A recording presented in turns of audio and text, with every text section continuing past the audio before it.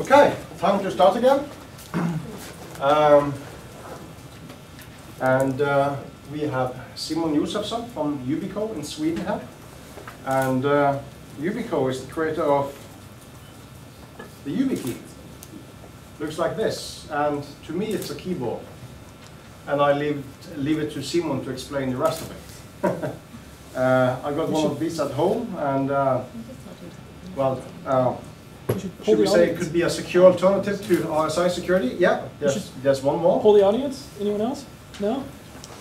Yeah, with, with you. Okay, so you had many people to convince here and so on. Yes. So, stage is, is yours. Okay, thank you. Hello, everyone. so I'm Simon Josefsson from Yubico. Uh, just briefly about me, I'm a long-time free software hacker working for several GNU projects and other free software projects, and also active in IETF for on standardization issues. Um, but uh, I work for Yubico right now. So briefly about Yubico, I'll, I'll skip more, more of the, most of the sales stuff because we, we won't, a technical crowd, so focus on the details. But we, we started in 2007 and relatively small company. But the key invention is this, the YubiKey. So as you can imagine, this is a one-factor authentication device. It's a hardware dongle, and we have lots of customers. So this is what I'll be talking about for the first part, and the second part is our new invention, uh, a thicker YubiKey, Well, it's a YubiHSM, so it's um, if this is the key to something, this is the lock to, to put it in, figuratively speaking. Um, they'll come back to the YubiHSM later. Um, I'll go over the YubiKey first. So th- there was one, two people here who had a YubiKey. Uh, How, how many have heard of YubiKey? Okay, so it's a, a couple. Um, how many have used some kind of hardware authentication device like Vasco or SecurID or, or anything? Yeah, a lot. Okay, but back to the YubiKey. So, so this is a device that generates one-time passwords, uh, and it's has an identification part and an authentication part. I'll come back to later what what that means, but um, so it's it's no batteries, no display or, or mechanical button, so it doesn't break when used in the sent by postal mail or something like that. So typical usage is replacing the password login prompt with, with something like this, or combining the password prompt with, with a second factor. And this is what it uh, generates. So it's an identity part that's static on all invocations, and there is a variable part that's different every time. So just just a quick quick demo.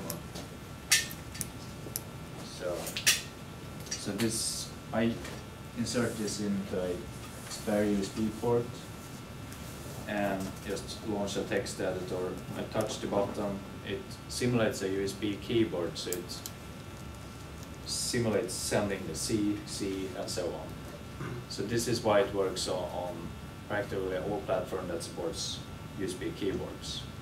So if I press again, the first part will be static, it's the same, the second part it varies. So, so that, that's to, to simply know how, how it works. Um, so the, these characters are encoded uh, in mod hex because keyboards doesn't uh, return A or B, it generates scan codes and these are translated into A and B by the computer. And this was a problem for us in the beginning because there are a bunch of keyboard layouts that are different. So we have to find some characters that are mapped from scan codes to characters the same on all keyboards. This is not, not essential to understand this, but it's the background on, on why the, the string looks the way it does. So we had to find 60 characters that are unique, and we are mapping them to normal hexadecimal alphabet. So, yeah, so string 00 is CC mod hex, and we call it mod hex because it, it's essentially a hexadecimal but with a different alphabet. So the YubiKey OTP consists of the, the first part is actually a variable, 0 to 16 characters, but we ship them with 12 characters and have standardized on that. Um, so this is the blue part here, and the varying part is actually a AES encrypted part. I'll come back to that later. So, so having a variable identity part can cause problems because if you're in lots of situations like SSO login or Windows login, you're entering a password and then generating a one-time uh, passcode. And then if the pass OTP one-time password varies in length, it's different, difficult to know where the password ends and the one-time password begins. There's a silly problem, but it causes a lot of issues in, in deployment. So we are standardizing on twelve characters here and twenty there, so. Um, so what's in the one-time password? Um, these are the internal fields which are then encrypted using AES in standard ECB. How, how many are familiar with AES? Are, yeah, security savvy people, so. So, but the YubiKey works by generating a plain text uh, block. It's, it's just one AES block. And it's consisting of an internal identity, which is just a, like a serial number. It has a session counter to make the one-time passwords unique every time and it's encrypted. And it has some, some timers, these are incrementing when the YubiKey is inserted into the PC. And there's, yeah, another counter and some unpredictable data and a CRC. Uh, And note well, the CRC is not used for anything security critical, it's just a checksum, so. Uh, Sometimes a problem comes up, because people say CRC sixteen is, is not secure, but uh, it's not, it's not used in a security sensitive way. Um, and once the YubiKey has compiled this block, it's encrypted using AES in ECB mode. And so there is a unique AES key in every one of these devices. And you can program it yourself, so you don't have to trust us to, to protect the AES keys, lo- unlike some other companies. Squeaky. Um, so these counters um, are used for the, there is a event-based counter part, which is incremented uh, every time you touch the button, basically. It's, it's for, for implementation reason, it's divided into two parts. One that's non-volatile, that's just incremented on first use when you're inserting it. Because non-volatile memory is, you don't want to write to it a lot of times, so. And another counter that's incremented during that power up cycle, and, and that goes away when it's disconnected. Um, the time, timing information is there to, to be able to see if you are generating a one-time password at now and, and in five minutes, the server can see that, com- compare these two one-time passwords and see that these were generated with five minutes interval. And that's, that's useful to, to be able to identify phishing attacks or something like that. Someone stole your OTP. But it's not real, real-time clock, so, so you can't say that it, the user inserted it at twelve o'clock today and pressed it, but you can measure the interval between, and it, in practice, that, that's, that's sufficient to, to detect most attacks. So, I'll talk briefly this, this device is configurable, so you can configure it in a static mode, and then it generates the same password every time you touch it. And of course, that's quite silly because you, then you're back to normal username, password, and problems. And with keyloggers uh, and having, it's even worse because you only have one physical device and you're likely to use that static password on, on many different sites, which is bad practice. But turns out that this is very useful for demos and for user acceptance testing. So you can configure uh, 50 of these in static mode, give it to user who doesn't understand this, and just to see how they react. Is it possible to use it? Sometimes uh, department or companies want to do a pre-study to understand if it's going to work or not. And then you don't have to change anything on the server, you're still using passwords essentially, but you can see how, how users behave and, and act. And we also support OATH. How many are familiar with OATH, HOTP? Not so many. So, so briefly, this is a standardized way to do one-time passwords. It's, uh, it's based on HMAC SHA-1. Um, and, and essentially just HMAC SHA-1's a counter every time.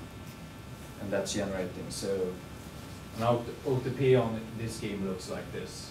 This is similar to, to a lot of online banks are using, perhaps not HOTP, but similar algorithms.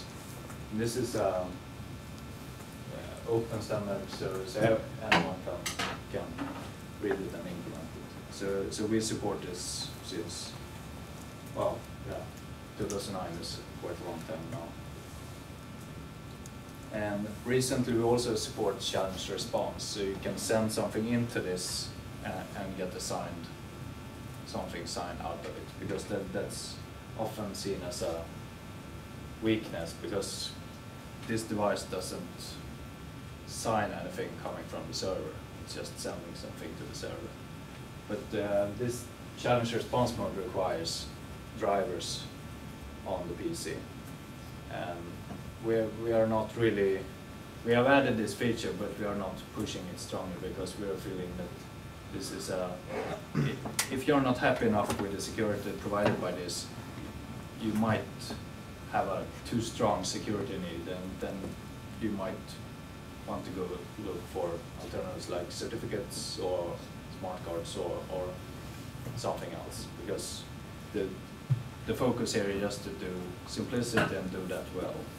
Uh, and there is a, there is a niche there that we, we believe we aren't met today. Uh, because a lot of solutions are focusing on solving just the, the most highest security solutions like, like smart cards. But then you end up with smart card driver problems. So, so, but we've added this uh, so people can experiment with, it. and some people are using disk encryption like this because then they can unlock their disk encryption using a hardware download. So it might be some uses for it. And we also combine it with RFID to, to combine it with physical. Um, I won't go into logistics a lot, but we have automated the process to, to, to, to manufacture this in large quantities quickly. Um, So Yubico provides a whole range of things around the YubiKey. Of course, we sell the YubiKey in different variants. We also provide software, um, yeah, variants, several variants of software. First, to talk to the device, then also to use it. And we have set up an online validation service. You can validate the OTP against our servers. I'll come back to some, some examples later. Also have some forum and support. So I, I mentioned that you can program this device yourself, and we have personalization software.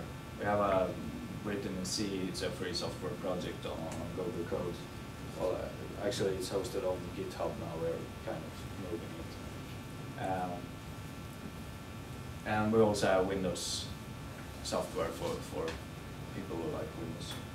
And actually Mac as well. So, and then you can configure it in static mode, uh, OATH, HOTP mode, or, or normal YubiKey mode, and set your own AES key, and so on. So, of course, if everyone can reprogram this, it's a problem if someone installs a Trojan on your device and just reprograms it with, with some AES key known by the, some attacker. So, so normally you would program it and then set a lock code and then it's locked. You need to provide the lock code again if you're reprogramming it. And because reprogramming a YubiKey in normal deployments is so difficult, you, you just to have a thousand employees coming in with their YubiKeys and to reprogram it, it, it's quite costly. So we are recommending just set a random password and, and discard the password, the lock code, because it's easier to, to, well, of course we like to, it's easier to just buy more YubiKeys and send them out than to bring them in. But yeah, of course, it, it's an option, but in practice, it's very difficult to manage sending back things and sending them out to the right person again. Uh, so looking at some software packages, we have packages that parses these one-time passwords written in C. Uh, yeah, you see some are C programmers who recognize some, some prototypes there. Um, I planned a demo, but I think I skipped that and focus on the YubiHSM. It's, it, it's not very interesting. You can try this if you're really interested, because it's just a matter of reprogramming it. Um, or just ask me later if you're curious. Um, so, I mentioned this, this is a key. It needs to go somewhere. It's useless to have a key without having it unlocking something. So we are providing uh, a validation server to, that can be used to build this. Uh, So, so we have a validation server where you can send in these OTPs and get a yes/no answer. So, so basically Yubico says that, okay, this is how the OTP that's valid right now, and then you can build some application that does some authentication or author- authorization based on that. And Yubico is not managing passwords or anything like that. We are, of course, if you send in same OTP, you will get the response no, and it says replied OTP. We have different, different kind of error codes. And it- it's accessible over HTTPS or we have a CRUD ad hoc scheme to, to do a HMAC SHA-1 sign of, of the request. It's simplest used HTTPS, then it's a standard, standard protocol. So this require client identity key and you can generate it from my pages. Um, so let's try a demo. I don't have an internet connection. Not sure if this is possible, but you can go to this site, just yubico.com slash demo, and then as a prompt and you insert the device, generate the code, and hopefully this page will show where it's just congratulations you're logged in, and it will show the response from the validation server. So, of course, the, yeah. Uh, the timestamp, that comes from the host computer, right? Or, Uh, no, this timestamp actually comes from the server, our server in, in this Okay. case. so, uh, uh, it's not a problem if the computer you, you have locally have their own time? No, it, do- it doesn't really matter because i it's, it's not part of any. It's not part of any of No, the key? no. Good. But uh, normally, when you're designing something, the server, our server, of course, runs NTP and Yeah. good time. And, and your application server that's, has the same requirements. But that, that's all on the server side, so, so Yeah, good. So that's usually not a problem. Um, if you are a command line kind of person, you can just use wget to, to, to access our web service API. And here we are validating the same OTP three times. So first time we get an OK and with some hash response, and then we get a reply that the regular OTP and yeah, same again. So, so this is what we are providing to, to allow you to build something, to build the lock. Um, we have improved the validation protocol with, with some replication uh, distributed, uh, so it's, it's not particularly interesting. We, we have a lot of different clients in, in many languages, C, PHP, Java, .NET, um, almost anything, Ruby, whatever. So the, the server-side software that we are using or, or used to use are free software. We are now migrating to the YubiHSM-based solution, which uh, that, that's also free software, but this is the old, old software running. So it's divided into two parts. It's a validation server that's responsible for, for doing the saying yes or no. And there's a key storage module that's responsible for, for storing the AES keys and just responding, taking one OTP and responding with the decrypted part. Because that's, that's very easy to, to distribute because the AES keys can be found on several places. And it's also important to secure them, so you want to really lock down the secure of where you're holding the AES keys. So that's, that's available. Uh, the, this key might help to, to understand how, how the, how it works. We have a few servers that's holding the AES keys. And since, since that's, there is no synchronization, synchronization between these machines, it's possible for the validation server, because the validation server needs to decrypt the OTP in order to validate it. So each validation server can, in parallel, query all our KSMs to do a decrypt. Uh, and this will take the first response that comes back and use that for, for validating the OTP. And your client, your, your application, like a, I don't know, a WordPress blog or, or a bank, online bank or internal web system, will access our validation API. Or you can set up this in your own environment and, and access your servers. Um, I should mention uh, several of our customers are writing their own backends because they, they are they have, for example, some some are very deep into Java and have their own Java environment already deployed. So it's it's, it's easier for them to, to re-implement this in Java than to try to make our system work in their environment. And uh, all of our everything that you need to do to, to re-implement it is public, so it's, it's just a matter of implementing. And this is, you can do this in a hundred lines of code. It's not, it's not a, it's not very complicated really. So this was the scalability that I mentioned. The client queries several validation servers to, to deal with network outages, uh, and these in turn talk to the KSMs. And they synchronize the OTP counters between them. So we have uh, also have some online to PHP forum to for discussion and a wiki. Um, if you want to raise questions or, or share with someone else something you've done with the wiki. So we also, how many are familiar with PAM? So, so essentially it's a plugin architecture for, for doing authentication in, in mostly Unix system, but it works on Windows as well.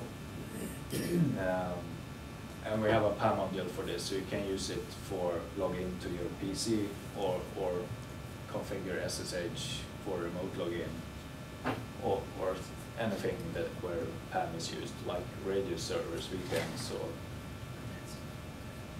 yeah, PAM is quite well used. Um, of course, we we like to see the YubiKey used everywhere, so we're supporting uh, all kinds of authentication, identity protocols. And OpenID was a was something that appealed to us uh, a couple of years ago. It is kind of faded, but uh, it's still quite used. Well, we, we did our own OpenID server. That's just one factor. So, so you can have a OpenID URL which is asserted by one YubiKey. Uh, and that's free software that we publish as well. So some are setting up their own OpenID server to, to be able to log into to sites. Uh, maybe I should ask, how many have, have heard about OpenID? Yeah. Um, so that's our server.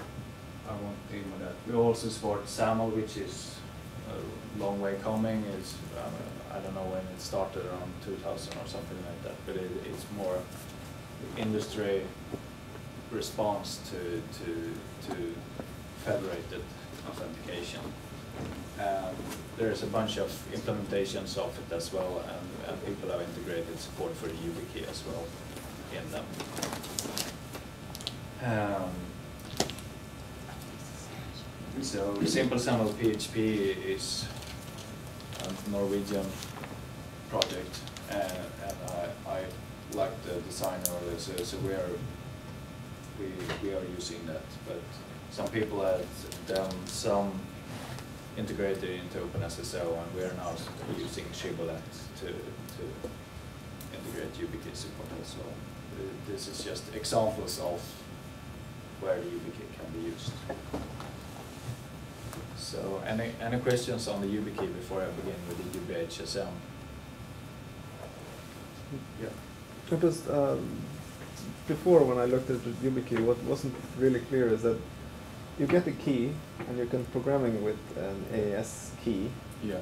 and then you also have free software that allows you to manage this to set up a framework for identity management so that you can have the key and, and match it, no, the, the encryption key and you can match it to to an ID. Yeah. Is it, yeah. Is, is that ID, is that part of the, um, is, is um, the, the information you get out of the key when, of the YubiKey when you press the button, does that have a sort of serial number that, Yeah. how, how does that Yeah, so- technical part? Yeah, so, so I should mention, uh, of course, th- there is a physical name of, of of every YubiKey, that's a serial number. And That, that's available in firmware, that, you can't modify that. But that's not part of the one-time password, you can modify the, the public prefix. And of course, it's useful to somehow relate the serial number with the public prefix just for, for administrative reason, but, but there's no, you don't have to do it that way if you don't want to. So, so you're free to modify the first part. And we, so, some customers are actually, they, they have reserved part of the, of the prefix for their own use. And they are deploying YubiKeys within that public prefix. So, so, So the, the fixed part is not the user ID that you type in, is this correct? Or- yeah, so, n- When It's a normally, user, yeah. username and password, the, the fixed part is not the one that goes into username. no, uh, normally not. So I you mean- would have to type that by hand, or how does it work? Yeah, I, it can be used in, in, in two ways. I, the normal way is that you have a standard username uh, prompt, and user types John or Alice or whatever. And then in the password prompt, they type their password and, and generate the one-time password code at the end, and it presses enter, sub, submits the field. So, and of course that's a bit annoying because this provides identity, so the user doesn't have to type in Alice, um, in theory. But often, often you come to a situation or, or existing uh, pages where you have two windows, uh, and then it's easier to do it that, like that. But So is it possible to embed something like a tab or an enter in the fixed part? Yeah, you, you can program this to, to actually output the identity part in a tab and then the one-time password, if you want. Uh, and that's actually was the default configuration initially, because we, we thought it, it would be the natural solution, but we later found out it, it doesn't work in, in many different environments like Windows login or SSH, where you where tab doesn't mean anything. So, so now we are just combining it one long string. But uh, I should admit, if you're designing a new web application, you can just have one field and the user provides either just the one-time password or types a password plus the, the one-time password. And then the user doesn't have to, to input her username. And that users find, find that very nice because it saves them time. And I, I mean, we all know the problems of remembering passwords, but it's a it's a common user problem to record the usernames, and they don't really know what what username they have in all situations. So do I understand correctly that if you use this with several verifiers, you have to have a different YubiKey for every verifier? It depends. I mean, if you're going to our validation server, you don't have to. The, the important part is that you only have one central place that validates all one-time passwords coming from one YubiKey, because otherwise there's a replay attack. If someone gets a one-time password for, from one system, they can replay it to another. But if you're building web applications, you can use tens or hundreds of different sites all going to our server for validating a YubiKey. So, so that's not a problem. But if you're building your own infrastructure, the, then you have that problem. You can't use it against our system and your at the same time. So, because the one-time passwords in here needs to be synchronized with the component that's validating it. Well, let's say that my bank buys the YubiKey and my university also buys the YubiKey and so on. Yeah. I have to have a different one for each of them, right? It depends on how, how, how friendly they, they want to act. Uh, we, some customers like to do everything their own, set up their own servers. Then it's not possible to, for, for their employees to use the YubiKey elsewhere. But, but some more, more open organizations like university are, are using it against our server. So, so students can use YubiKey for, for internal login to the IT system at the university, but they can also use it to log into our forum sites or lastpass.com or, or any sites using the YubiKey. So it's it, the, the organization buying the YubiKey really decides. And of course, we, we like, like for the YubiKey to be as useful as possible, uh, so you don't have to carry around a bunch of them. Well, of course, we like that too, but uh, we realize that users will find that annoying, so. So, and, and that's why we're trying to help OpenID SAML, because that can aggregate this on a different level. Eh, Let's say bank buys these, they want to run all their infrastructure themselves, but maybe they can set up a SAML server and an OpenID server to, to allow their users to, to use the Open, the YubiKey against some other sites. Yeah. Are there any plans to switch it to uh, Bluetooth instead of USB? Yeah, we, we have that request uh, a couple of times, but the problem is uh, there is no battery in here. Yeah. So we, we have thought about different ways, but the battery is not the only problem. The Bluetooth pairing process is quite cumbersome, and it, we, we really like this to be simple. Uh, and as soon as Bluetooth and pairing is involved, it, it doesn't work well in practice at all. Not if we, not if you move between different computers, but. Yeah. Well, and the security of Bluetooth, even with encryption, is really appalling. Yep. Yeah. So, so it, it's possible to do, and we, we have prototypes of it, but we, we, we if you're buying uh, ten thousand of it will, will make it, but we haven't seen these kind of requests so far. So, so, yeah. Okay, So, more questions? One question. yeah. Um, on the communication between uh, the YubiKey and the server, on the answer there was something which looked like base 64. Yeah, It was the H, I guess. Yeah. Yeah, so- Can you tell what's inside? Yeah, so, well, here you see the request, and that's the OTP. Um, this is just the age equals, and there's a, that's just the signature on this requ- uh, response from the server.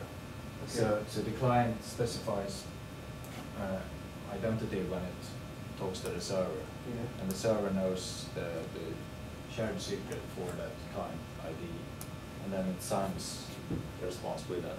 It's, initially it was just a way to, to avoid the need for HTTPS and do this over HTTP, but it, it's not, I wouldn't recommend relying on this. It's, Okay. But this could, could So- the answer be forged? well, if you're using HTTPS, then you're depending on, on HTTPS uh, and certificate validation, and then you're into that, that separate problem, but it's also a welcome problem. Okay. Uh, but otherwise, if you don't want to use HTTPS, and some people dislike it and- and prefer our HMAC variant, then you can uh, verify the response by using the HMAC key. Uh, so, so when you're registering for a key, thi- this is either one, but when you're registering, maybe you get five thousand five hundred or, or something. Then you have a HMAC SHA-1 key that you can use to verify the responses. So it's a cheap way to, to, to get some improved security, but, but, yep, yep. Uh, so, I was planning some questions at the end as well, so, so I'll run through the YubiHSM part and then there will some questions.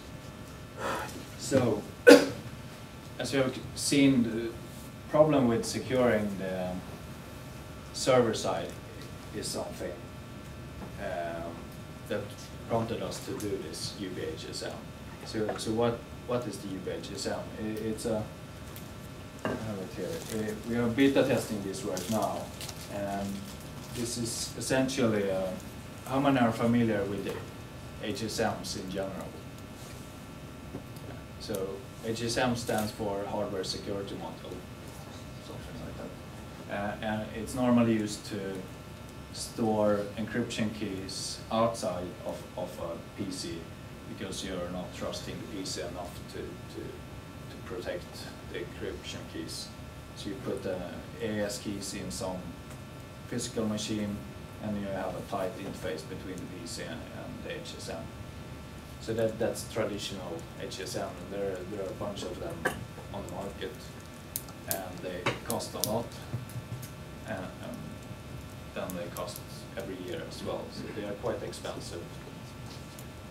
And we were considering this uh, for our um, servers, because we want to improve the security on there, so we don't end up, you know, well, so, someone attacking us and stealing our AES keys.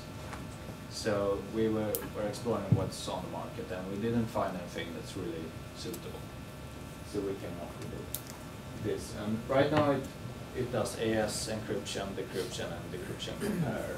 I'll come back to, to what, what that operation really is. Does HMAC SHA-1. Um, and it also has a random number generating based on, on one of NIST's designs. There, there's a bunch of different deterministic random number generator, and it's it, it's a matter of choosing which of them to use. But uh, the DRBG is one of the few nice ones, in, in my opinion. So the, this device is able to store 40 keys, uh, has a fairly small interface. So you can see, what is it, it- it's, yeah. HMAC SHA-1 generate random generate, gen- generates random AES ECB block encrypting clips uh, uh, and so on. There's a, and these are the operations you can do with a YubiHSM on the key. And the intention is that you can't read out the, the key from, from this once it's configured. And we have Python, um, soon Java code, um, and it's completely documented. So, so the background was really that we wanted to improve our home security. Um, so, um, yeah, I yeah. I mentioned that the traditional HSM are quite expensive, but another problem is that they don't really do, they just do encrypt, decrypt. They don't, they can't take a YubiKey OTP, decrypt uh, the OTP and verify it. And we really wanted that because if some attacker gets root on your host, and even if if the AES keys are, are in a HSM, they can just pipe whatever on the disk through the HSM and get out the clear text AES keys anyway. So we weren't feeling very protected by having a HSM. Um, yeah, so, so we really wanted a model where someone who would get root on our machine still wouldn't be able to do anything. Uh, and I think we've succeeded is to, or, or achieved this to, to a fair, fair degree. The, we can publish the all data stored on the PC for everyone to see, and you still couldn't do anything with it unless you have access to the hardware, the UHM, SM, HSM protecting it. So, so the indirect mode that we're using, because the, the, this device only stores 40 keys, so we have to have some way to, to support millions of AES keys.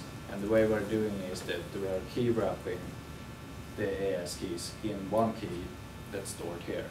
We're using uh, one of the AA, AEAD cipher modes for the AES-CCM for that. Uh, how many are familiar with authenticated encryption modes in general? Oh, not many, but it's a new way of of of of encrypting that's also authentication or authenticating the data and it has some nice cryptographic properties. Um, so, so we're using this to store these AEAD encrypted blobs on the server, and then when you get a request, you're sending in the request together with this blob to the YubiHSM, decrypts the, the blob, performs the operation, and returns the result. So, so, so, and we want something that provides integrity and not just encryption. So, so a lot of you are probably interested in how, how you would build a server that validates password for a million users without being vulnerable to, to attacks like Sony or someone else stealing all the information. Um, and now, one scheme to do this is, something like this, uh, that you're hashing or, or salting the password as soon as you get it. You query some server that has a YubiHSM with the passwords encrypted using this AEAD scheme. And the server will, will do a decrypt compare using that blob and the input to the hashed password and it will return yes, no. And even if an attacker would get root on this machine, they would be able to steal the blobs but to decrypt them, those blobs, they would need to, to have the keys stored in here. And our model is that we are not concerned with physical attacks. The, some people are, but there is a traditional security industry out there to protect physical stuff, uh, and we kind of let them do that. On our level, we are not concerned, but if someone is able to, to circumvent the physical security of our hosting centers, they, they are able to do a lot more, so, so it's a matter of finding the, the nice threat model or that you're concerned with. So, I was over this fairly briefly, but maybe we can come back to this soon.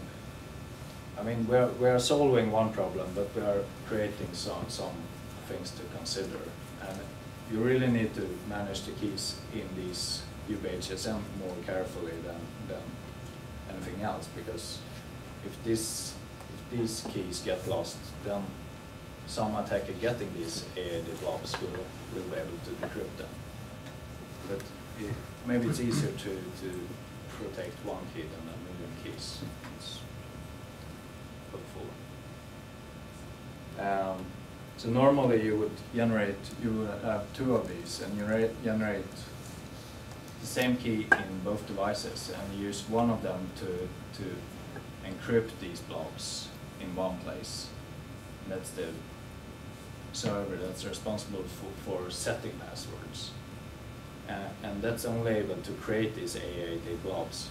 And on the second half, or, or the second UHSM, you is only able to decrypt and compare it using this key. Okay, that was quite brief, but I think I'll overrun with so. Yeah. Any more questions? Thank you. Any questions? Okay, well, No?